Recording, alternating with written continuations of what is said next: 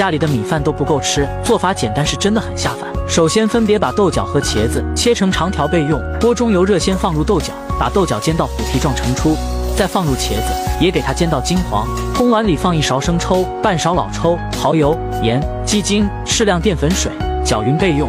锅留底油，放入葱蒜、小米辣，给它炒出香味，再放入豆角、茄子，淋上料汁，大火翻炒均匀就可以开吃了。喜欢的你也快收藏试试吧。